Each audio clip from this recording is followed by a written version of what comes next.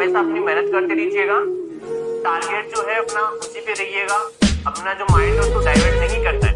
अगर माइंड को डाइवर्ट किया तो ज़िंदगी नहीं बदलेगी। और माइंड को अगर एक तरह एक जगह सेट करके रखा तो ज़िंदगी बदलेगी। क्योंकि कोई भी काम करते हैं, अगर अपन स्टडी भी करते हैं तो उसका रिज़ल्ट कम से कम पाँच से छह महीने के अंदर आता है। है ना? अरे भाई, ये थोड़ी है कि आज सरसों उगाते हो, आप सरसों उगाते हो। सरसों या कोई भी बीज आप उगाते हो तो बीज उगने में टाइम लगता है। तो आज ही सर होगा और आज ही मेरे को उसका जो है वो रिज़ल्ट मिले। ऐसा नहीं होता है। रिज़ल्ट के लिए आपको थोड़ा सा वेट करना होता है। तो आप अपना टारगेट बिल्कुल फिक्स करके रखिएगा। रिज़ल्ट ज़रूर मिलेगा।